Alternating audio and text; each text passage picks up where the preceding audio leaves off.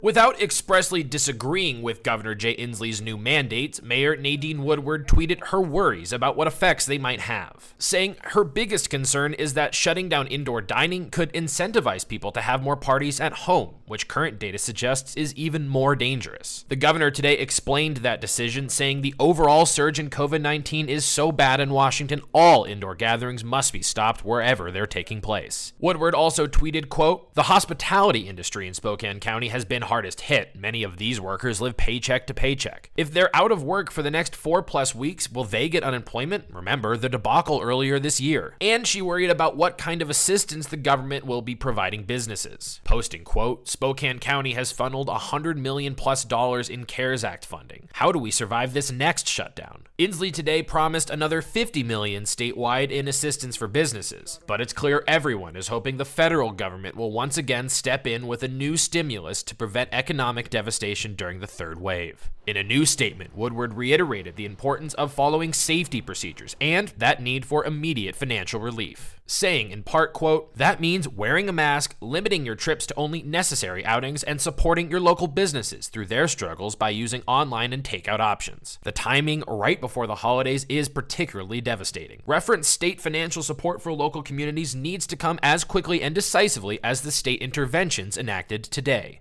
Casey Decker, KREM 2 News.